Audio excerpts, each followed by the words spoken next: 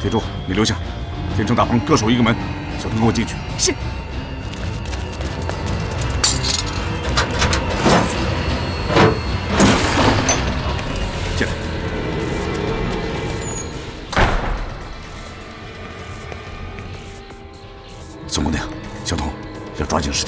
只有三分钟。是。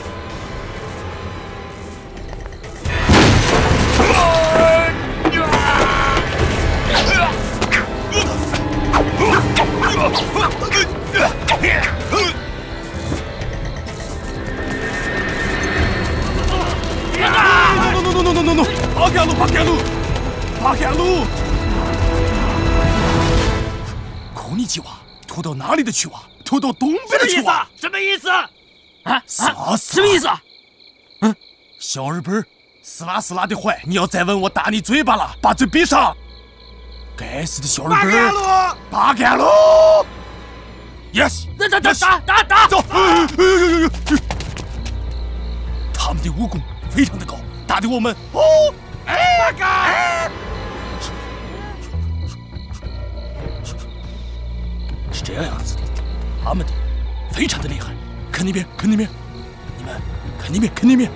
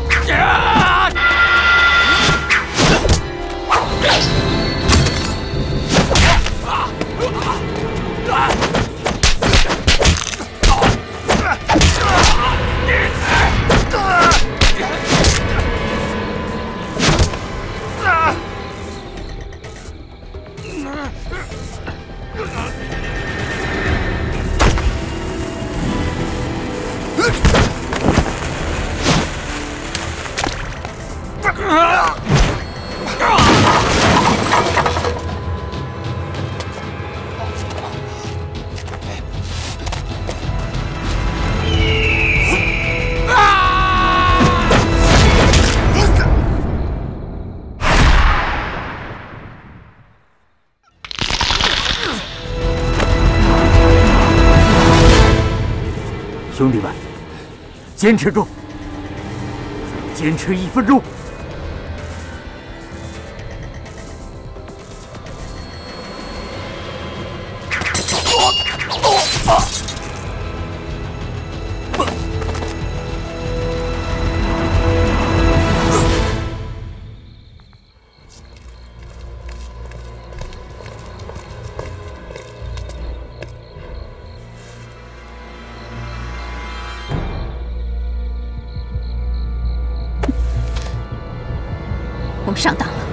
佐佐木，赶快去仓库，藤木留下，我们走。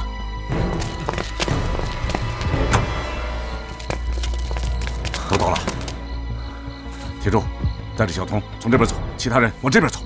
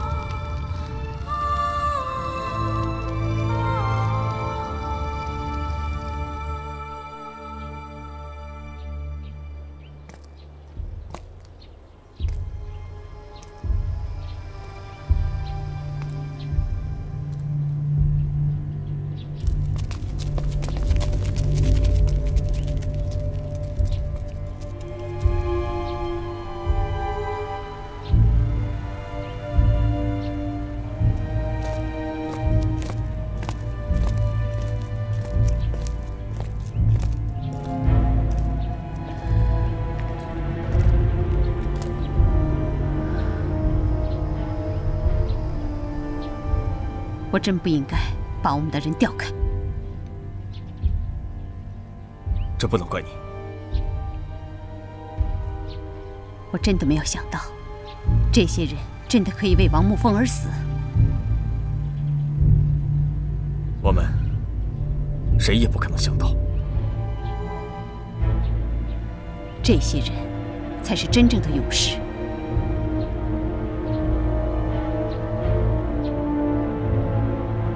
一把泻药，就让一支部队丧失了战斗力，真是可悲。中国人太卑鄙。不，为胜利而采取的一切措施，都是不可指责的。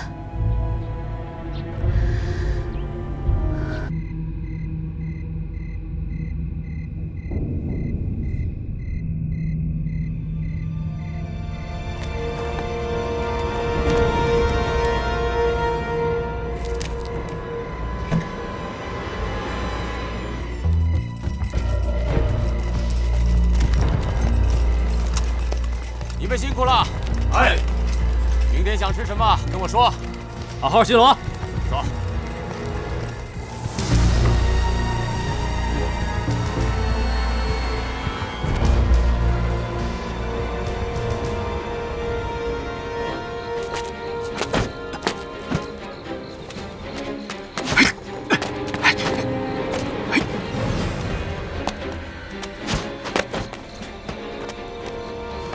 几位大侠将自己的绝技交给了这些刚刚成年的孩子，让他们作为武侠的替身，将山木这等强大的对手引开。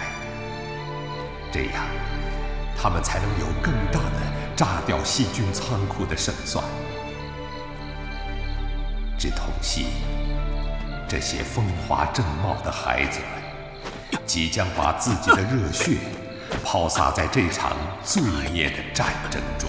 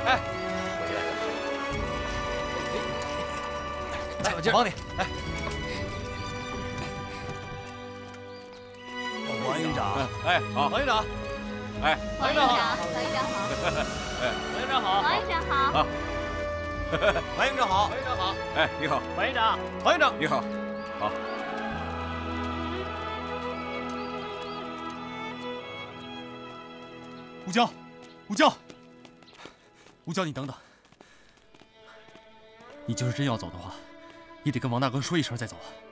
就是嘛，你连一句话都没有。是啊，我已经跟他说过了，他也同意了。你就不能留下啊？大哥不是说了吗？让你留下来和我们一起。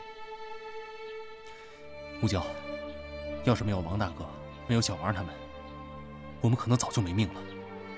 哎，你们可别忘了啊！当时救你们的时候，还有我和二哥呢。是是是，大鹏说的对，我们一起联手杀鬼子有什么不好？就像这次护送江森，我们哪个人能单独干得了啊？你都忘了吗？拿土肥原和你换的时候，啊，那小鬼子耍了多少花招啊！如果要是我们单干，那不早让人家给收拾了吗？就是。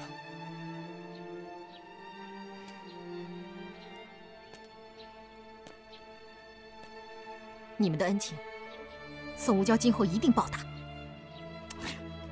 哎，宋姑娘，你要是死了呢，那这恩怎么报啊？他死不了。哎呀，你看我这嘴！哎，天生我不是那意思啊，我的意思是说，这宋姑娘一个人她容易死。哎呦，我就，哎呦，吴娇，你的仇就是我的仇，也是我的仇，也是我的，也是我的仇。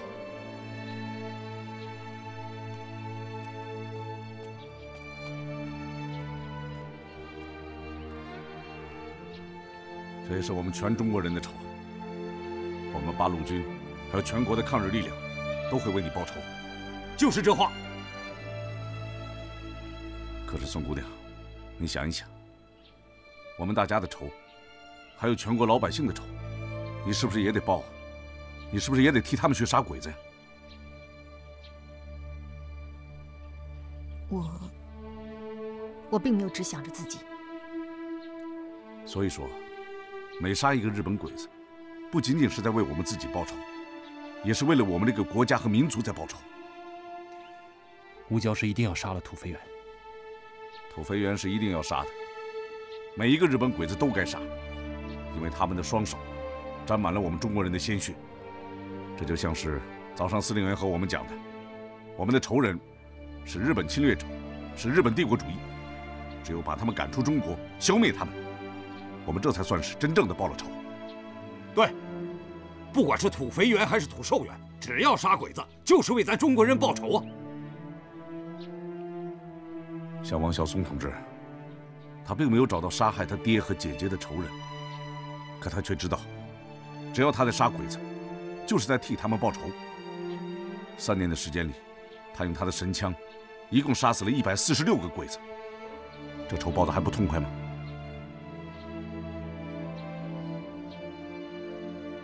如今他已经牺牲了，那我们是不是也该替他去报这个仇啊？当然要报了。吴娇，听大哥的吧，我们一起联手杀鬼子，一样是为你爹娘，还有姐姐报仇啊！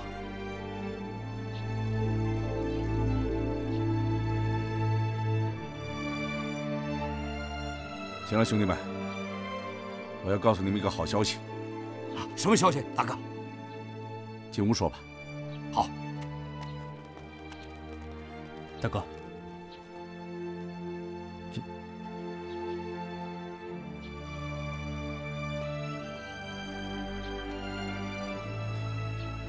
宋姑娘，进去听一听吧。如果听完之后你还是要走，我王沐风绝不拦你。走吧，五娇，听听大哥怎么说。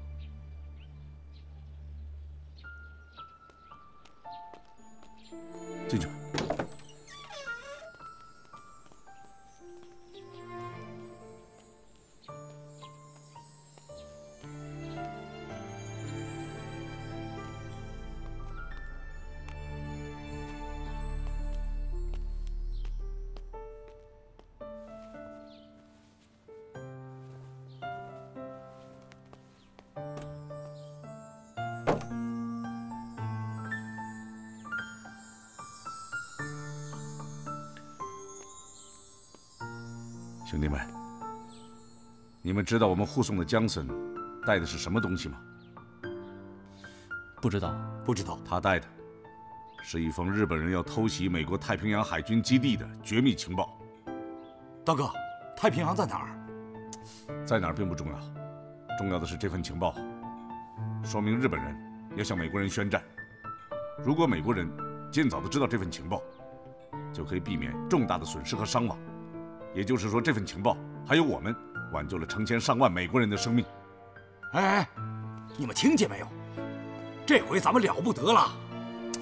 你坐下听大哥说。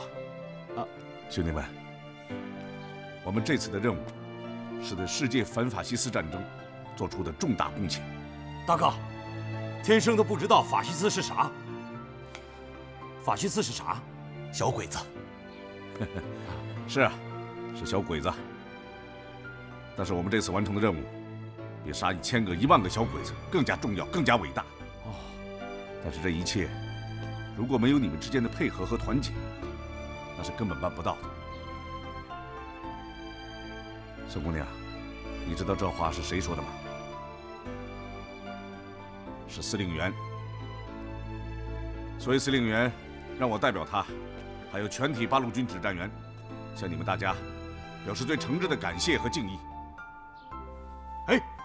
哎，大哥，这司令员怎么能给我们敬礼呢？因为你们是真正的抗日英雄嘛。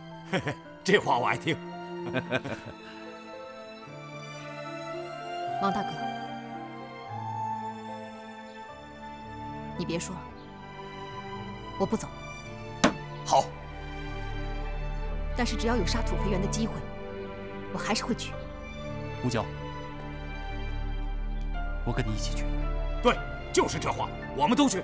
对，我立下过毒誓，我一定要为我的父母报仇。宋姑娘，你放心，我们大家一定会帮你完成你的誓言。眼下就有这样的机会。哎，什么机会啊，大哥？杀小鬼子，比杀几个小鬼子更加重要。你们愿意跟我一块儿去吗？当然愿意了。一句话，大哥，我们跟你去。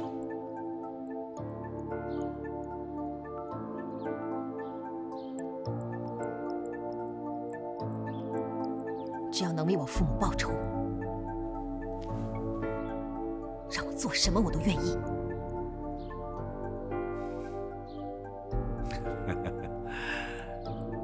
好，大哥，你说什么，咱们都跟着你干。你就说吧。那好，我问你们，你们谁知道生化武器？啥生武器、手武器的？大哥，你就别考我们了。您说出来，我们就知道了，是吧，二哥？是。好，那这样，这个问题呢，等小童回来以后告诉大家。现在我强调一下这次的任务。我们这次的任务。就是要摧毁敌人的生化武器，消灭他们的生化武器专家。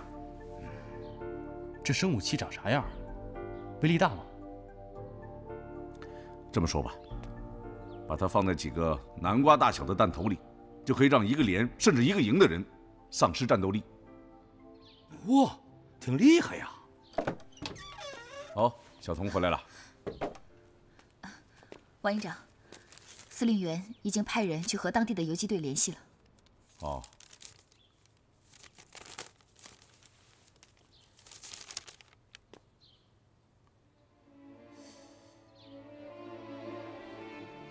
好，哎，小童，这样吧，你给大伙说说鬼子的生化武器。哎，哎，大伙坐。啊，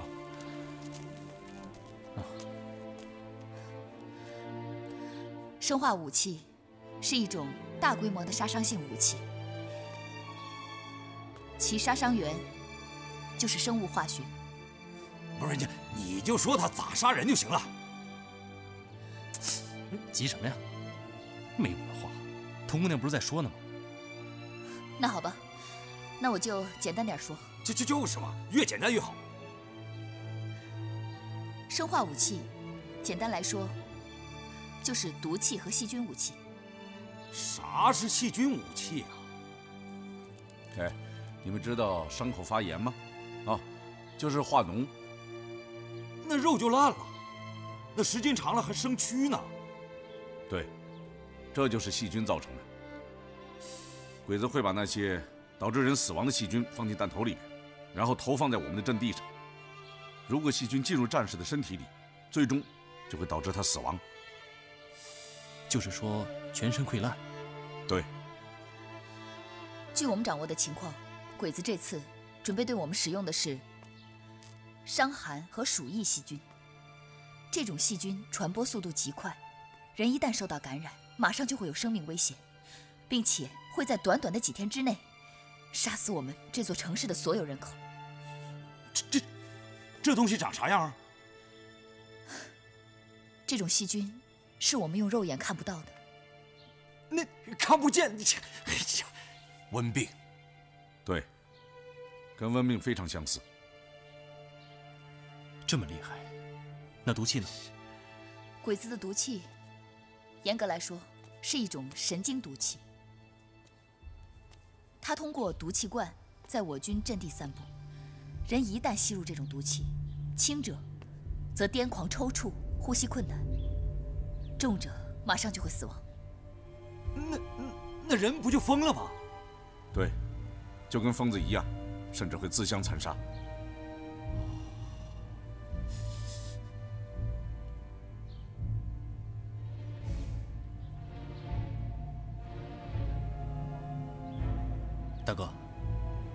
这种东西看不见摸不着的，怎么打呀？再说我的绣花针也不管用啊。就是这话，打不了。不是打不了，是根本没法打。咱们有劲儿没地方使啊，咱们不能跟这个空气打呀。就是打不了。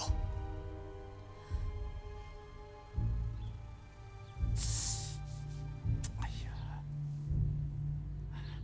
嘿嘿嘿，大哥，大哥，要不然呢？呃，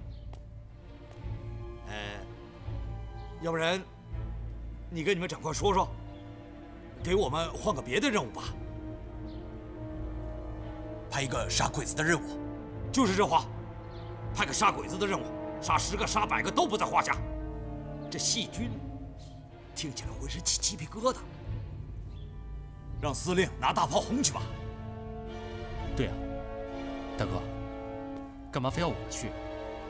在这东西面前，会不会武功都一样？就是啊。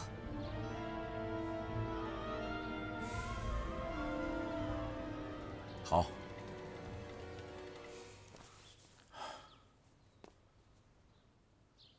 你们几位的意思，我听明白了，就是害怕了，不敢去了，是吧？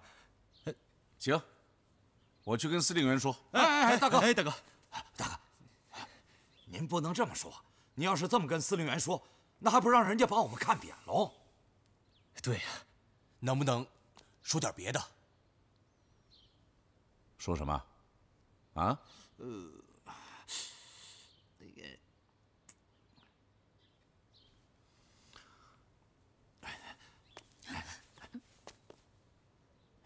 你不是有文化吗？你说呀！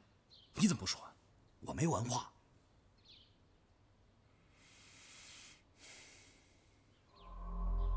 大哥，要不然跟司令员说，说我们不合适。哎，对，我们不合适啊。哦，是这样。司令员呢，原本的意思是觉得派你们几个去。是很有把握完成这次任务的，当然，现在是因为你们害怕了，不敢去了，哎，所以呢，我也可以告诉司令员，他还会派别的人。我们每一名八路军战士都会毫不犹豫的去完成这项任务。哎，大哥，我们不害怕，二哥也不害怕，对吧？是是是，对，对对对，我什么时候怕过呀？我从来没怕过，我杜大鹏向来都是第一个上。我也不害怕，大哥，我去。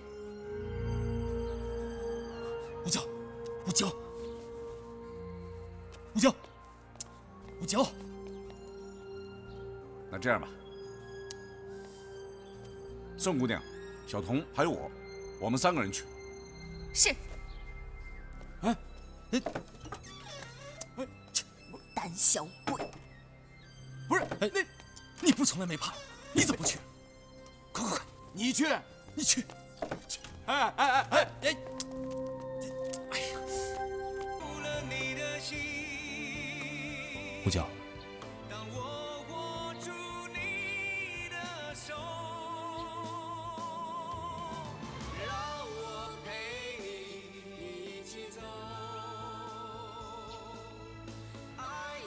是不是有什么话要说？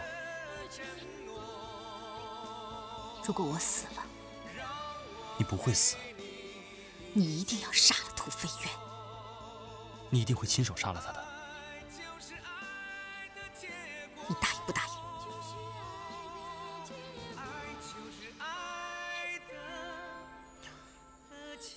我答应。可是，吴娇。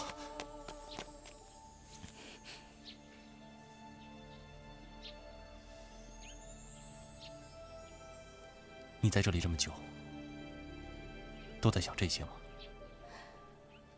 那些东西，我们听都没听过。可你是第一个答应的。王大哥他需要我们，但是王大哥不是让我们去送死，他也不是找我们去玩。我们要做好死的准备。你到底在想什么？我只是想尽全力。我们都会尽全力的。你们在想什么？我不想知道。我只想告诉你，不会去找死。可是如果死亡找到了我，请你一定替我杀了土飞渊，让他血债血偿。吴娇，既然你已经答应，我也就没有什么放心不下的了。吴娇。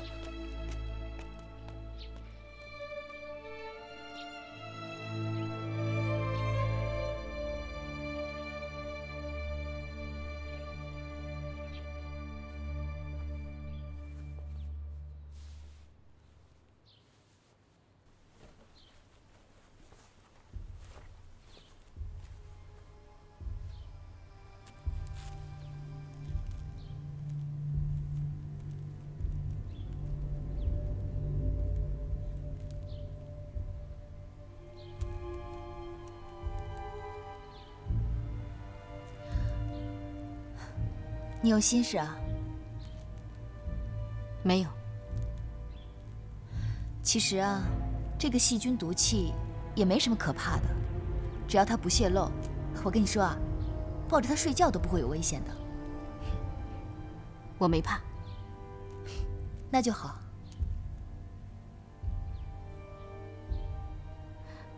谁去放炸药？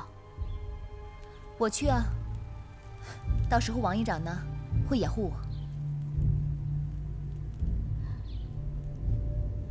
我去行吗？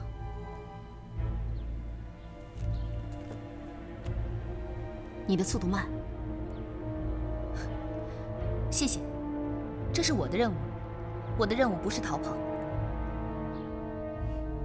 你别误会，我是想节省时间。我去把炸药放好。怎么放？放在哪里？你可以教我，而且你进不去的地方，我可以进去。你想想，这种活我干，是不是比你更合适？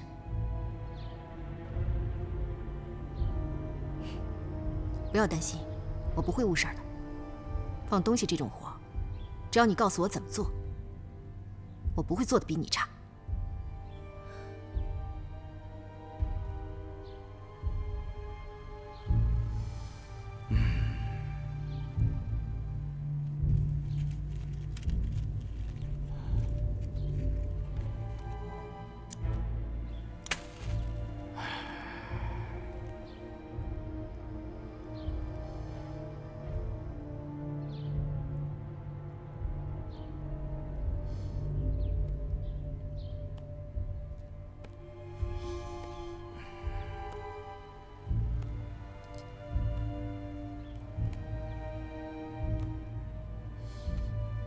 我说那病菌要是把我咬了咋办？咱能找到解药吗？这东西看不见摸不着的想防都没得防啊。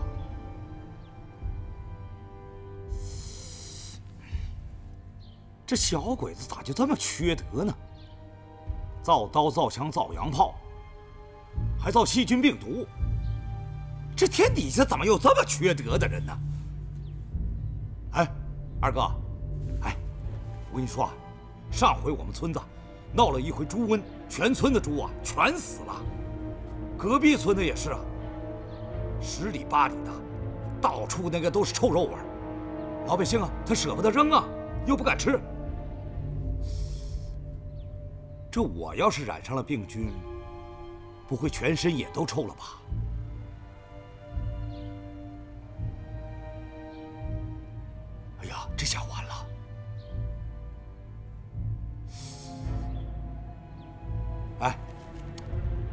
问你话呢，你倒是说句话呀！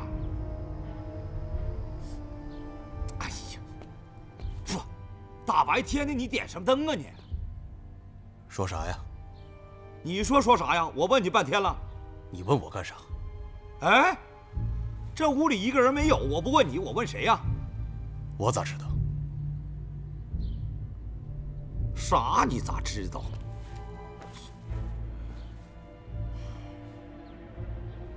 装在罐子里的。嗯。哎，对呀，我怎么把这事儿给忘了？他是装在罐子里的。哎，二哥，二哥，别看你平常不说话，说几个字儿就让人心里踏实，还是你聪明。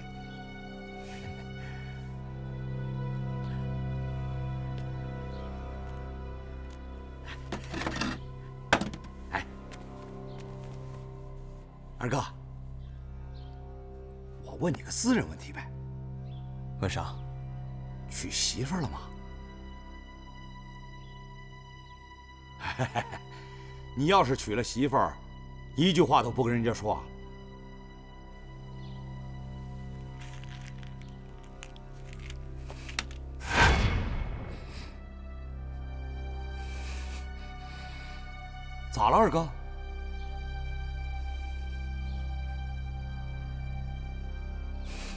二哥。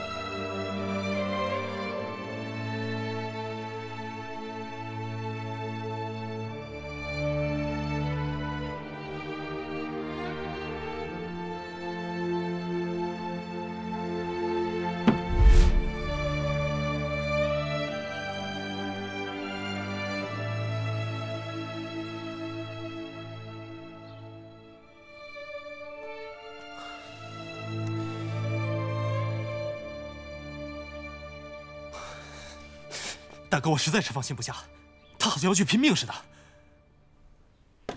王营长，你们快想想办法吧！宋姑娘非要替我去放炸药。什么？你看，他不就是要去拼命吗？宋姑娘怎么说？她说她的缩骨功可以进入我们进不了的地方，在不惊动鬼子的情况下放置炸药，这样可以节省很多的时间。他不懂爆破，怎么能让他去呢？可是他的态度很坚决。还让我教他怎么放炸药，不行，绝对不能让他去。天神，别着急，你得让我想一想。大哥，大哥。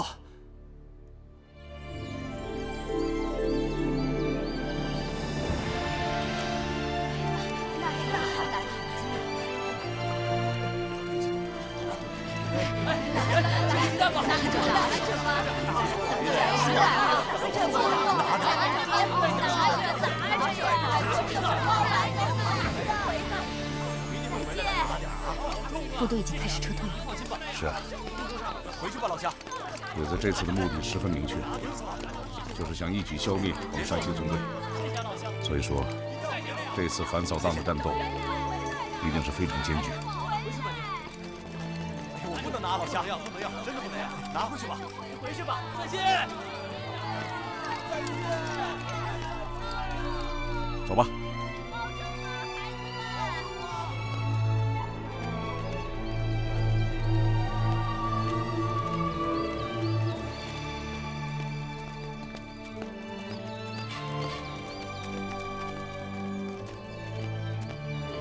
Mr. One, Mr. One, wait, Mr. One! Wait! Johnson! Johnson! Johnson! Mr. One! Why don't you go with them? I heard you were leaving, so I came back. Why?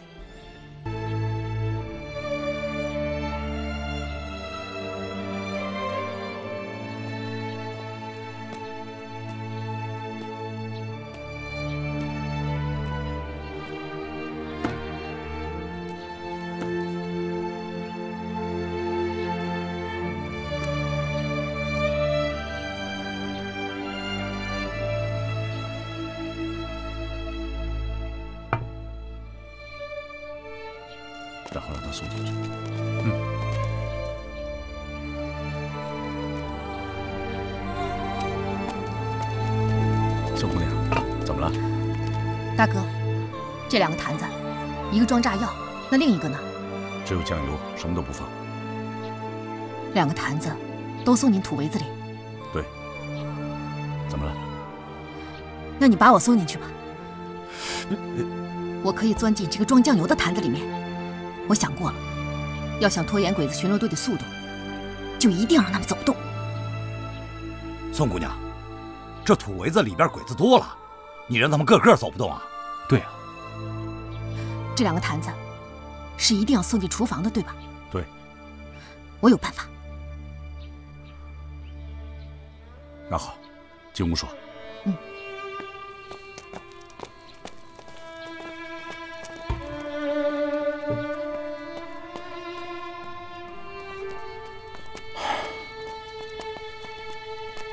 宋姑娘，你能钻进坛子，我不怀疑。但是，你能保证你进去之后就不被鬼子发现吗？万一要是被鬼子发现了怎么办？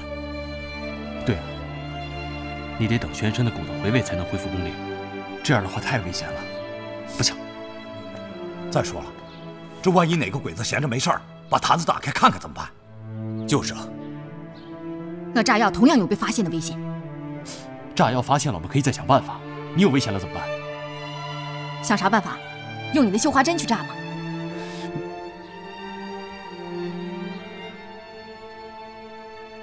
且我们真的没有时间了。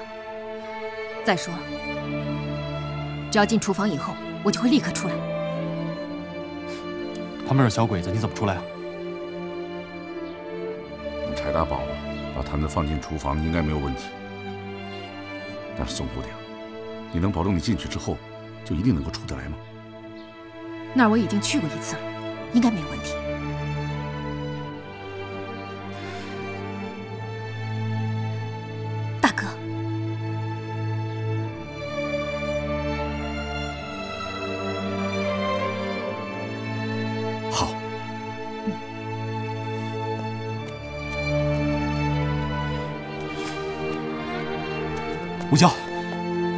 吴娇，让我跟你一起去吧，给你做个帮手。我没希望过有帮手。这次跟以前不一样，你在坛子里，小孩都能把你给杀了。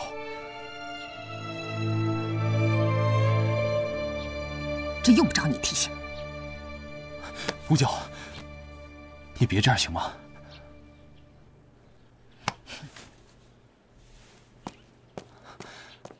胡椒。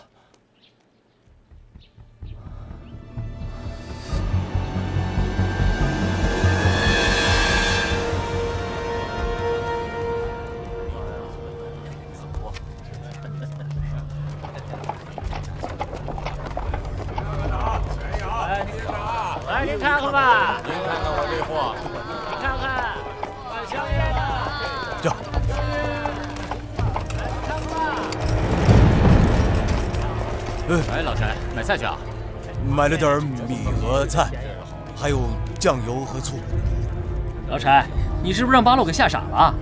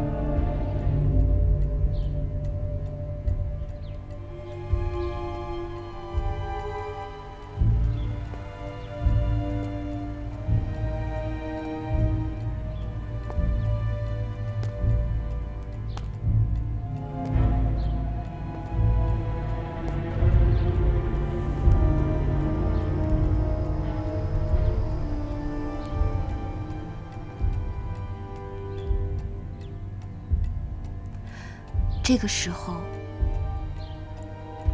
他应该到图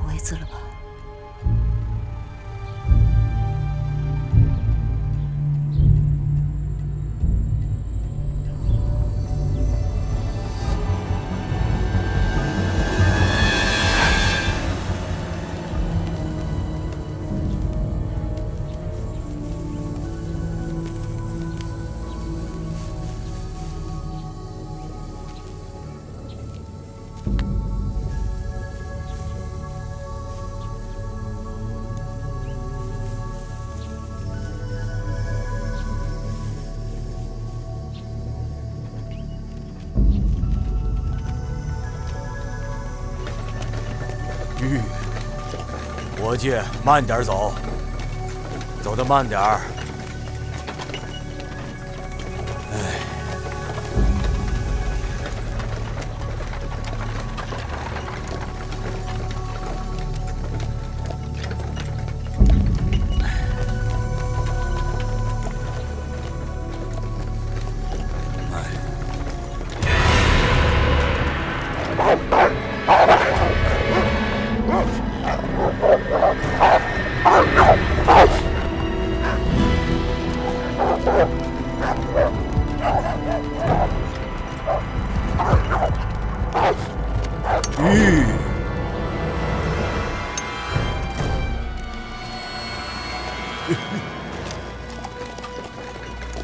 玉，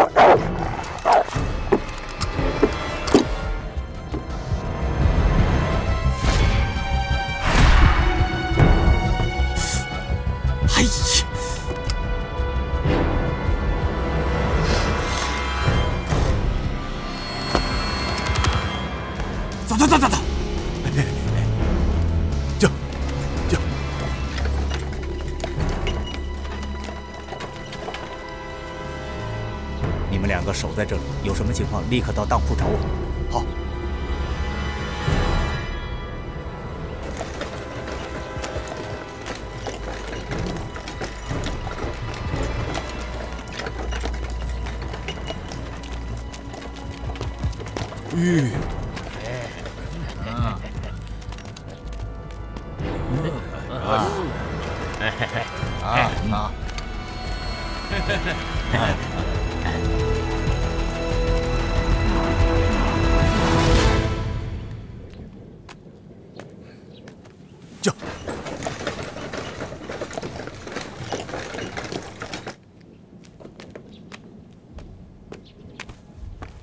出来抬东西啊！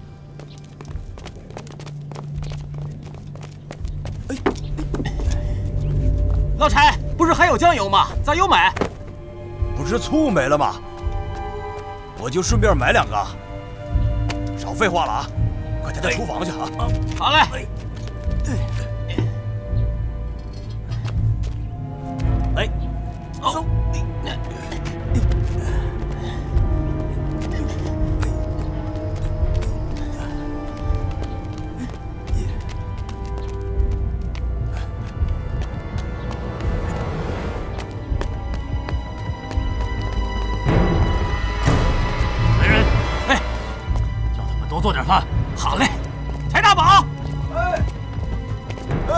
哎，中午多做几份饭啊！多少人呢？二十五个。哎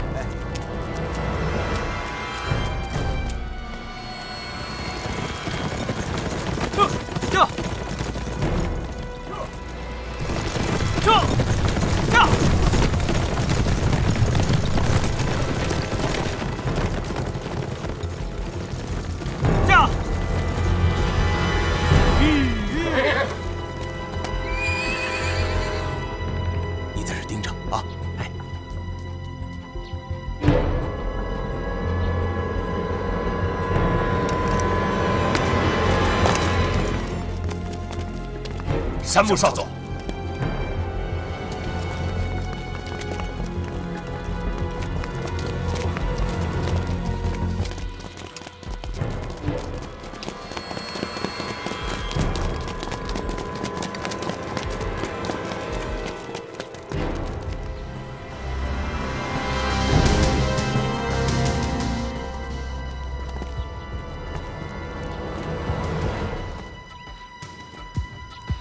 森田中佐，嗨，请你不要误会，我们这次来是神谷中将的意思，因为前方战事吃紧，明天你的毒气部队就要拉上来，我们来这里就是要确保这些武器的安全，以保证我们明天可以顺利的开往前线。那就有劳少佐了。不客气。如果一旦有声音，那么鬼子左右相连，会出动很快。所以说，在炸药点燃之前，绝对不能惊动鬼子。那好吧，探照灯就在你们出来之后再解决。嗯，大哥，这不就是几个岗哨吗？这好收拾。大鹏，别大大咧咧的。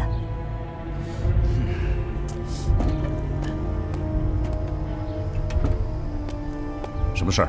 又来了二十多个鬼子，为首的是个女的，她穿着军装。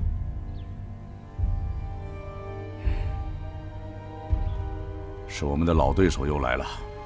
怎么，你们交过手？不止一次了。大哥，嗯，吴角想进入仓库安放炸药，看来没那么容易了。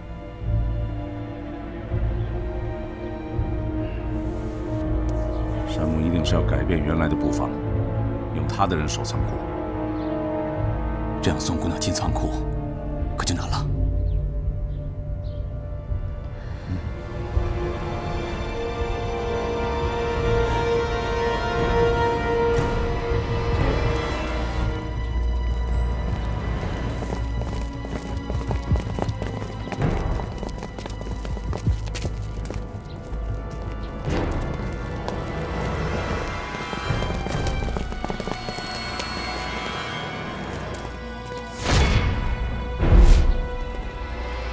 森田中佐，嘿，你的人可以离开仓库了。我的人可以助你一臂之力。他们只会添乱。你们都撤走。嘿，嘿，嘿。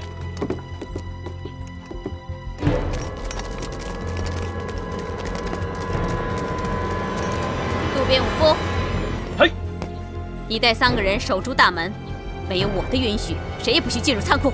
嘿，横木二郎，嘿，你带三个人守住房顶。嘿，花田君，你也上去，好好用你的耳朵。嘿，佐佐木，请吩咐。你带四个人守住左边。嗨。鸠山纪夫，嗨。你带四个人守住右边。嗨。剩下的其他人，分别隐藏在这两块空地的墙下，随时救援就近小组，明白了吗？哎。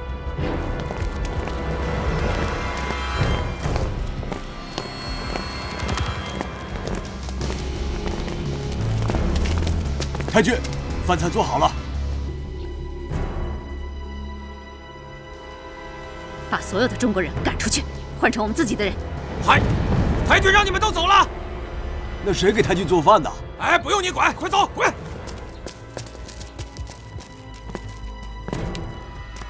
上不君，那吃饭怎么办？我不管别的，用你自己人去做。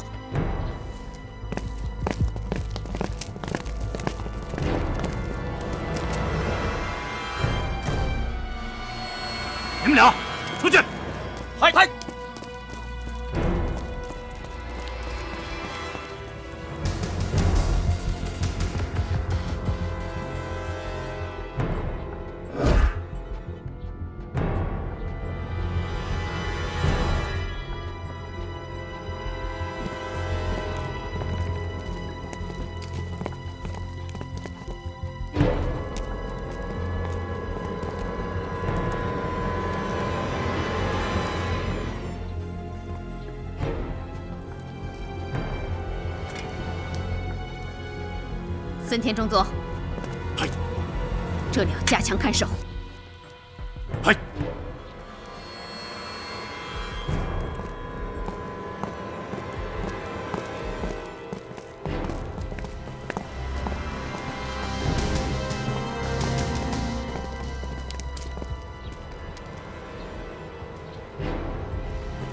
那里是库房。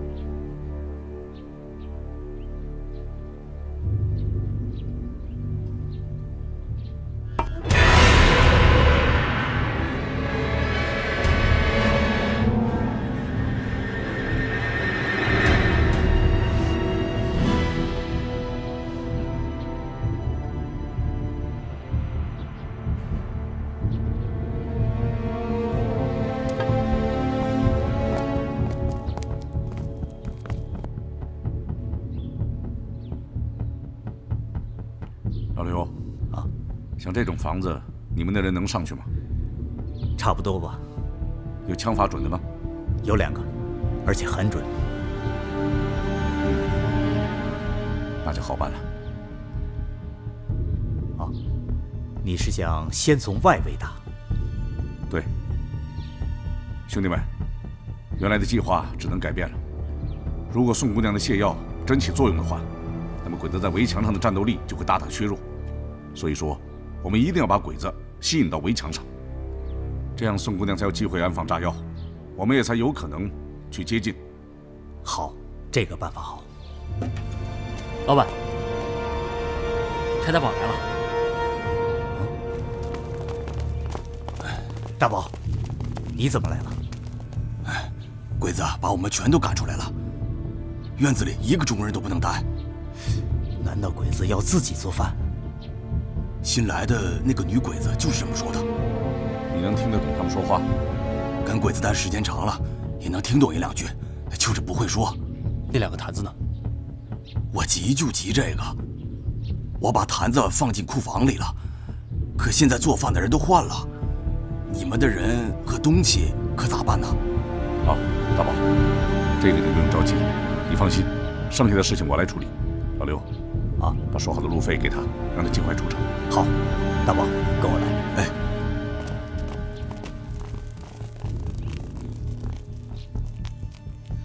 王营长，如果如果宋姑娘被敌人发现了怎么办？大哥，我们应该怎么办？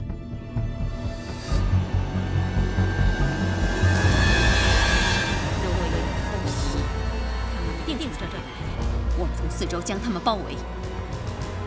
你们一定要把这个大门给我守住了。所以对前门、土围子中隐蔽的地方要严密警戒，还要增加岗哨。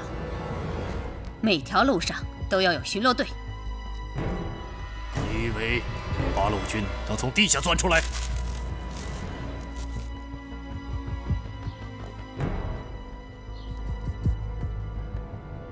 你的话是什么意思？我的意思是，只要守住大门和围墙，那里才是警戒重点。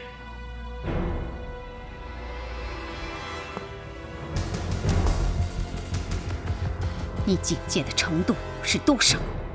呃，只要他不是鬼魂，就休想从大门和围墙上进来。很遗憾，森田中佐，这一次和我们打交道的，恐怕正是鬼魂。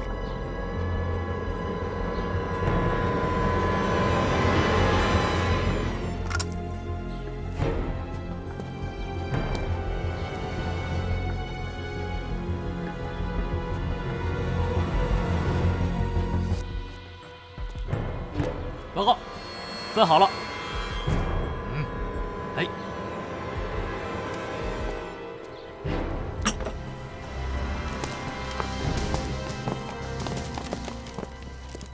你们不吃吗？谢谢，我们已经吃过了。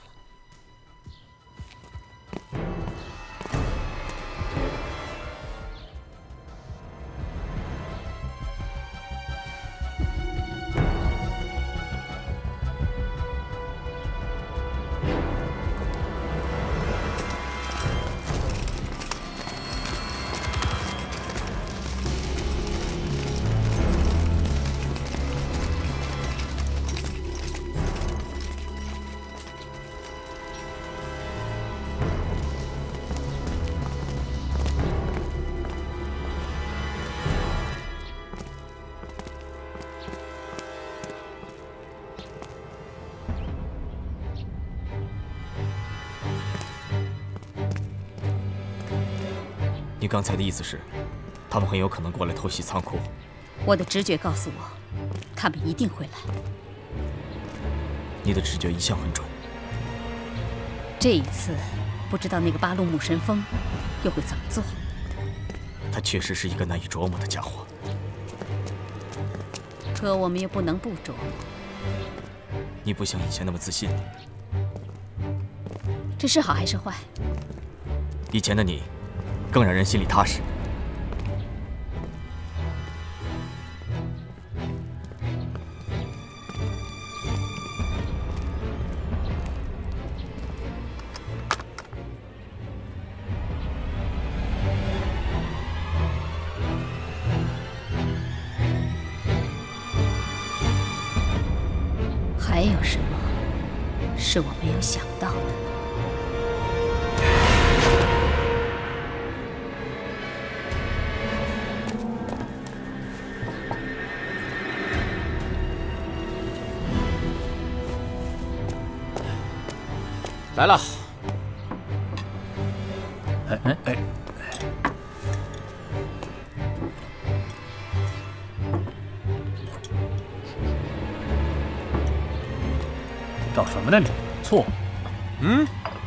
啥都放醋呢？嗨，没醋不香。咱日本的醋啊，比中国的香。嘿，我这一吃饭就想家。哎，吃吧。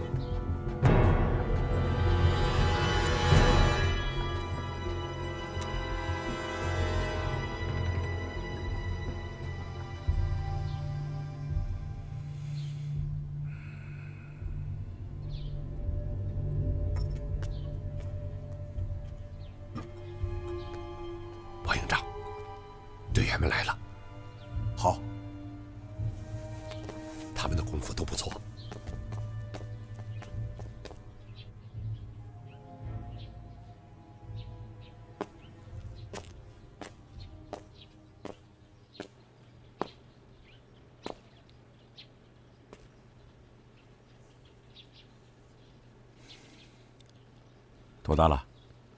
十七，啊不，快十八了。叫什么？叫栓子。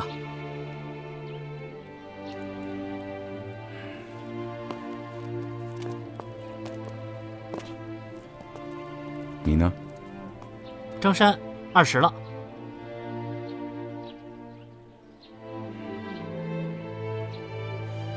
王营长，怎么了？叫他们回去。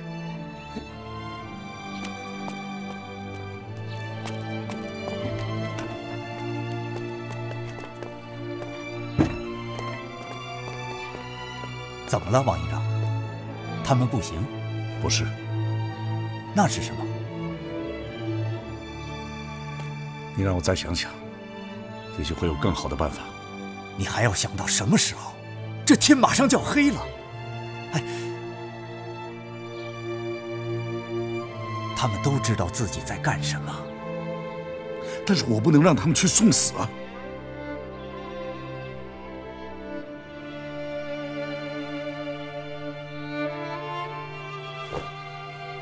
在位下蹲，记住，这里出招要用力，眼神要目视前方，好吗？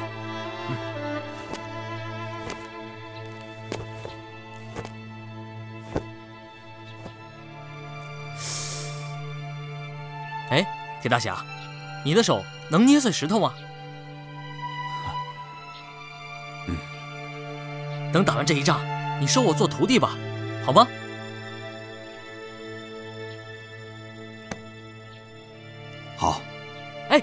你们听见了吗？铁大侠收我做徒弟了。铁头侠，嗯你也收我做徒弟吧？你想学什么？罗汉拳、铁砂掌，哦，还有铁头功。嗯，好。师傅，哎，先别跪，等打完了这一仗。行，来。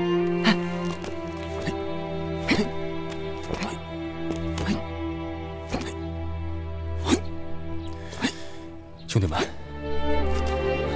你们慢慢练，我有点不舒服。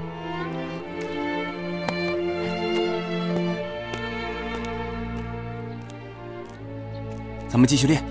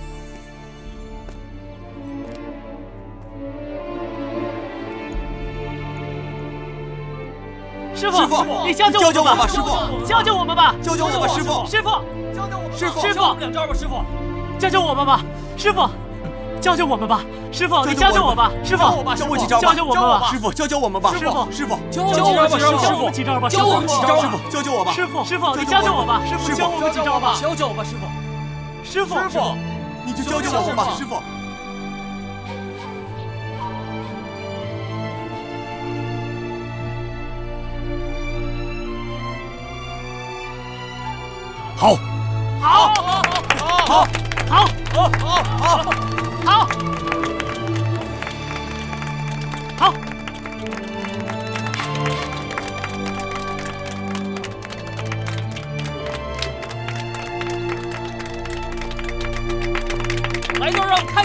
傅。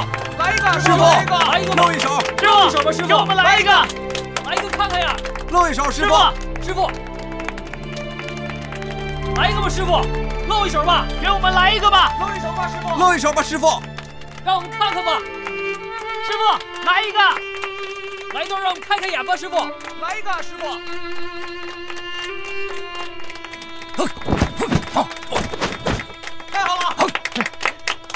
哦，啊，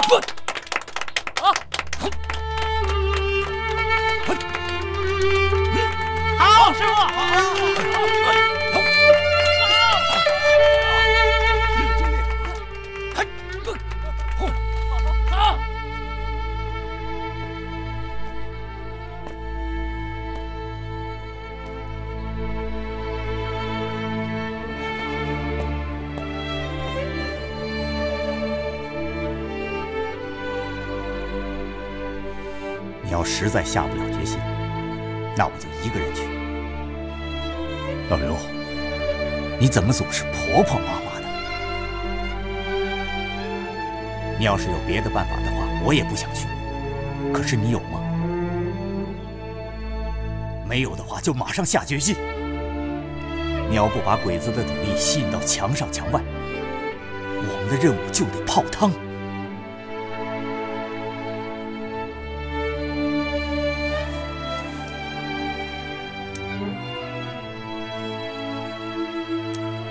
还有五分钟，我们游击队就得做部署准备了。你马上下决心吧。游击队要打一个小时的时间，而你们至少要坚持二十分钟。我们保证坚持二十分钟。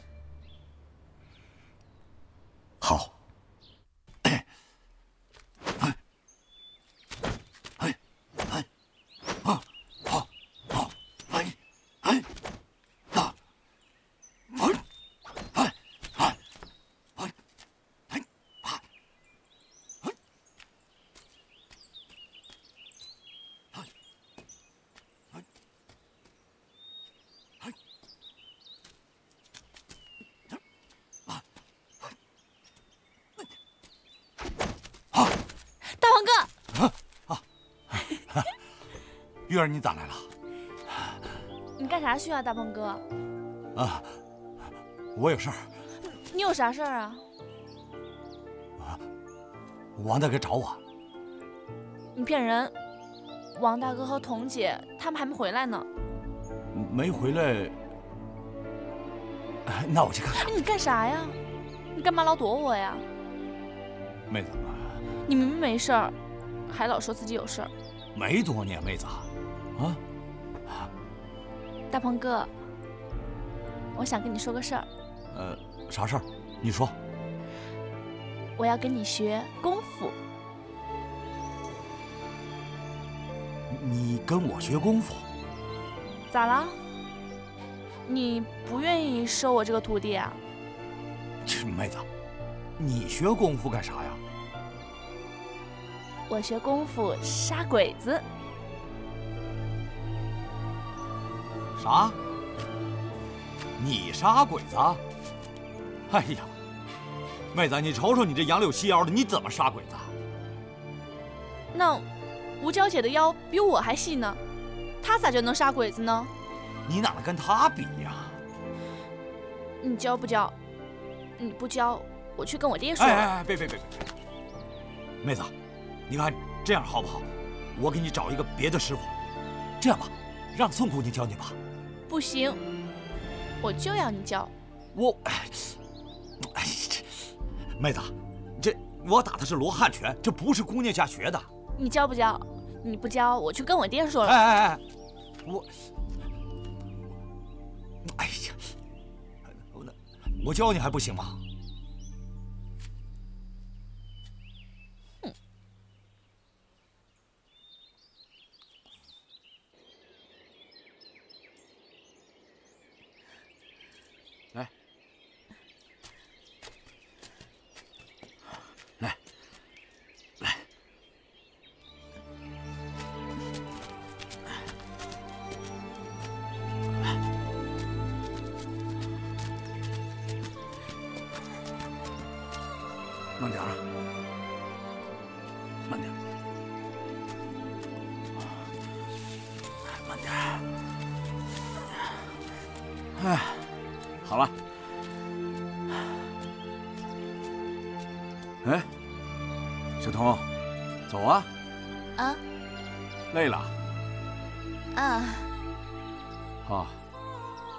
那行，咱们到前面歇会儿。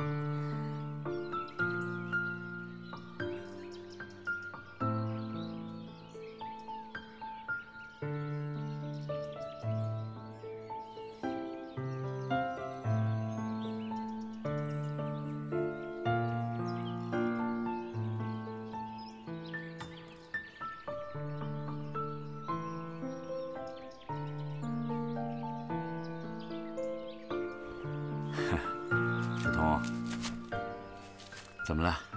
想家了？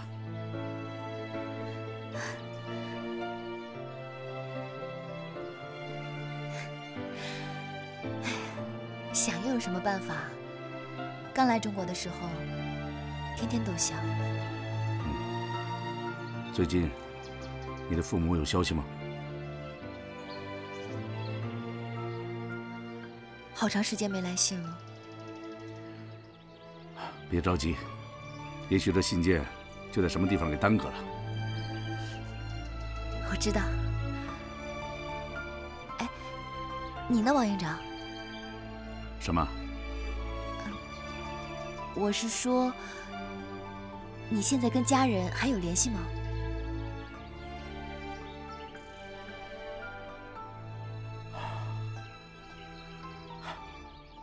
我已经很早就没有家了。我是在道观里长大的。你是说，你当过道士？那倒没有。哎呀，不过跟道士差不多，只不过不是道士罢了。怎么回事啊？我听师傅说，我是他在道观门口捡到的。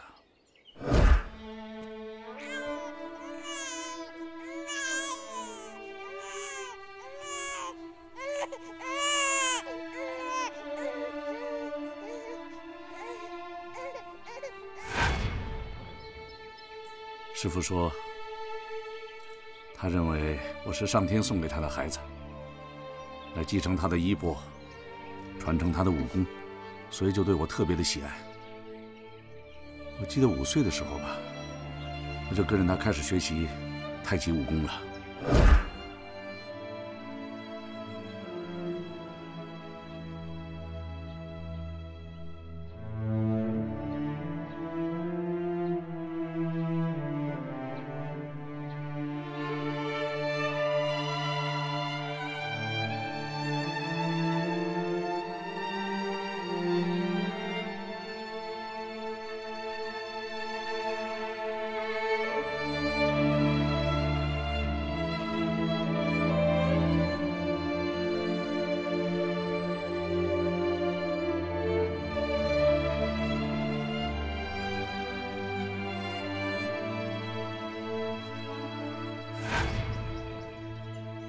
除此之外呢，师傅还教我七门遁甲、诸子百家、念书识字、易经八卦，无所不包。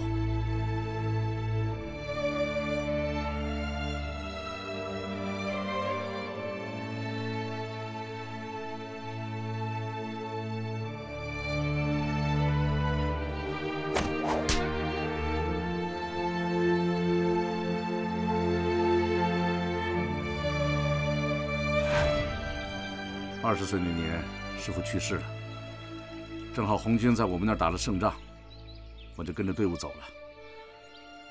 后来组织上又送我到苏联学习政治和军事。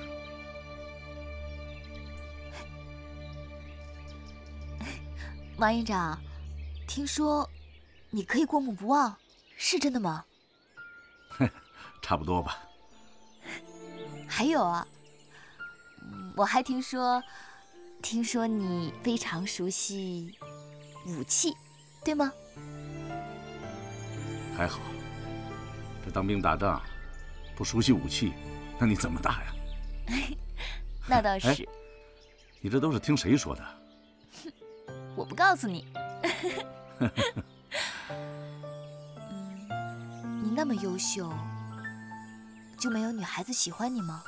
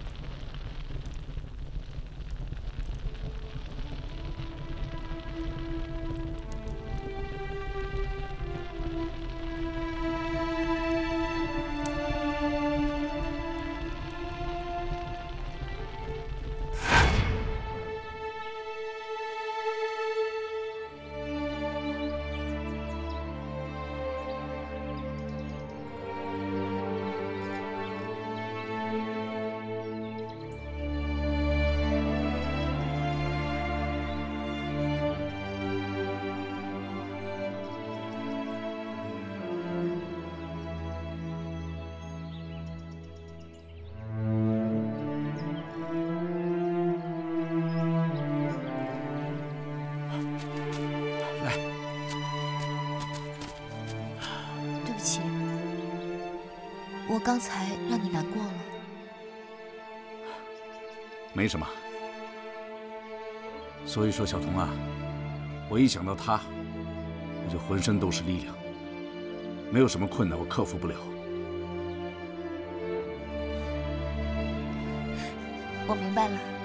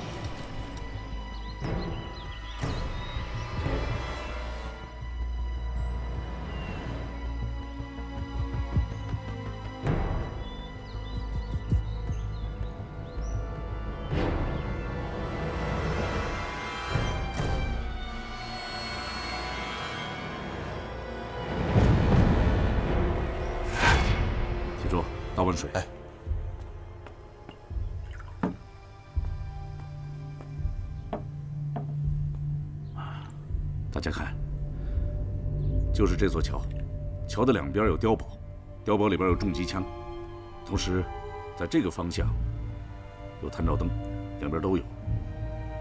而且，桥两边的山都是悬崖峭壁，根本无法攀登。大哥，这桥的两端都有鬼子把守，而且桥这么高，炸药又放不上去，怎么摧毁这桥啊？所以说，兄弟们，正因为这样，才把大家集合在一起，发挥各自的长处。再说了，咱们大家都是习武之人，应该明白这样一个道理：所有的武功都有他的死穴。对，知道这座大桥死穴的人，就是这个郭玉清。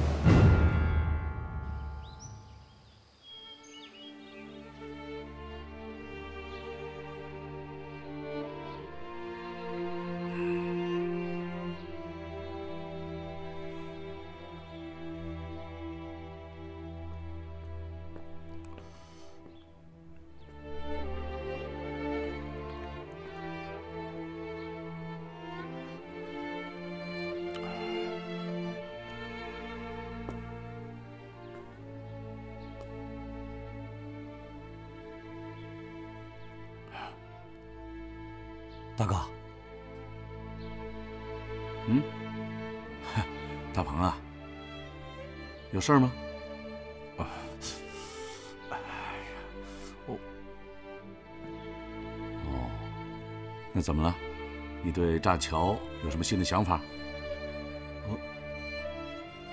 没有。啊，大哥，你也忙着吧，我先走了。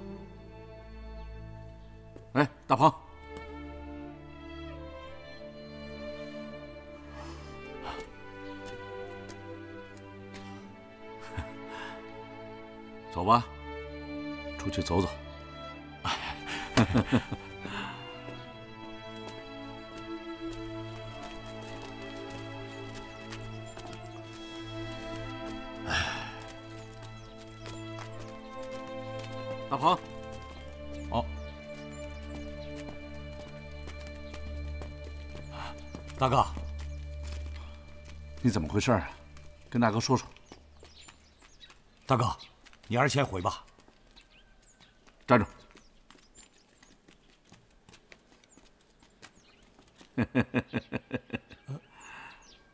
嗯，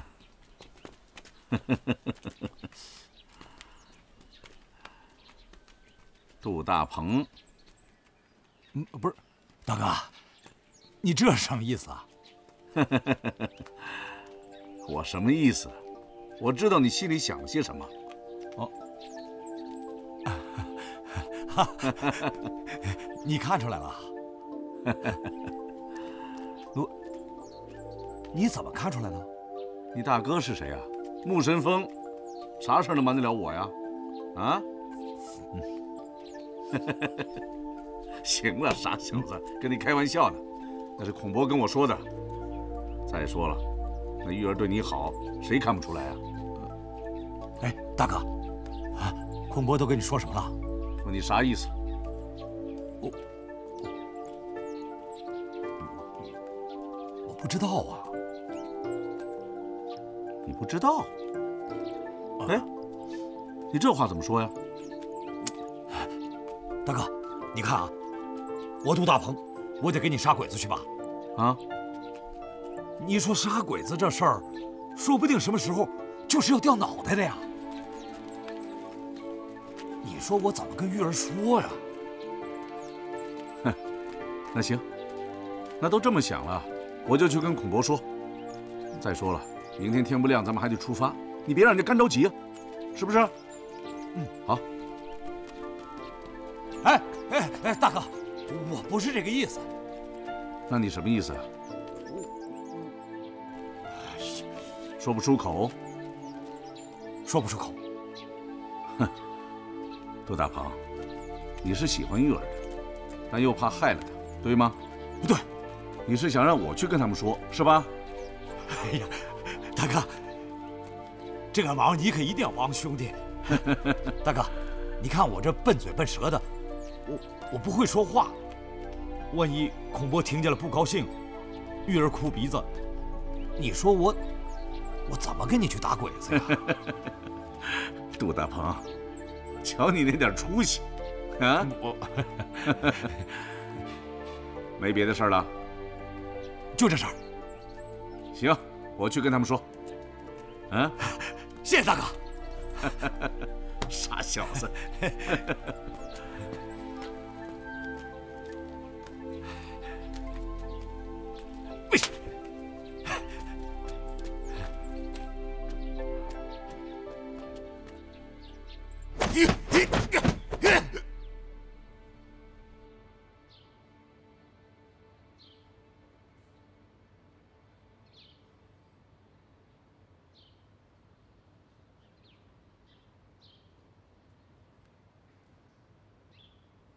二哥，还在想赵栓子他们呢？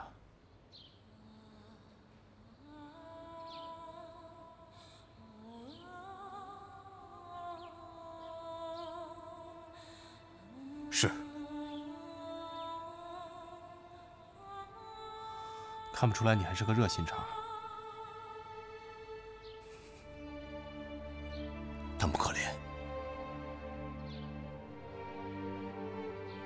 要不是他们，咱们是完不成任务的。可话又说回来了，这帮兄弟够爷们，明知道会牺牲，二话没说就去了。对，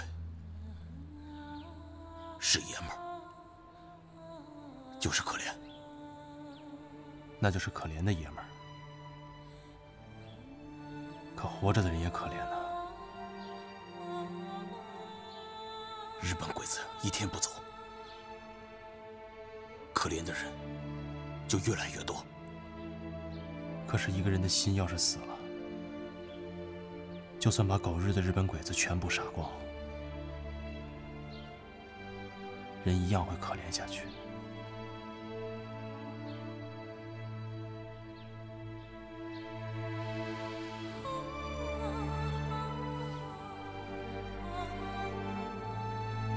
宋姑娘的心不会永远死下去。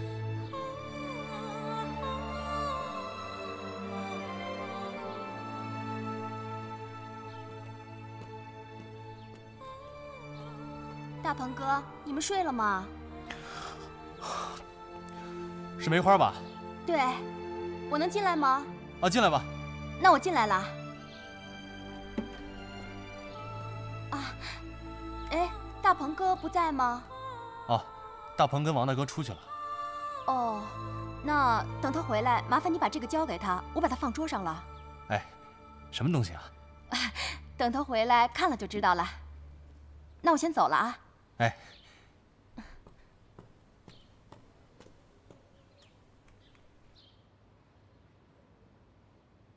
看见了吗？人家大鹏就不可怜，这没心没肺的，活得还挺开心，还有人惦记？他是有苦不想说。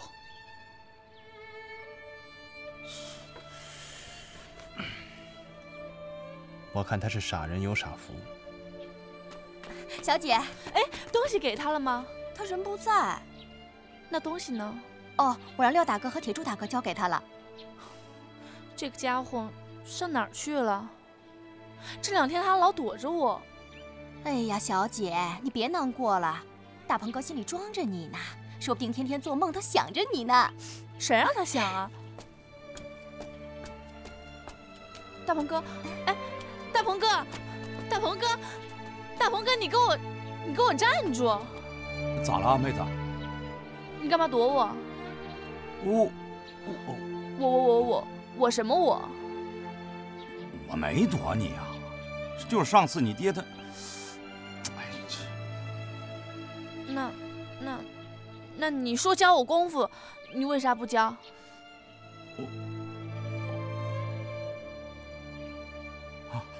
要不这样吧，等我这次执行完任务回来，我就教你，行不？这还差不多。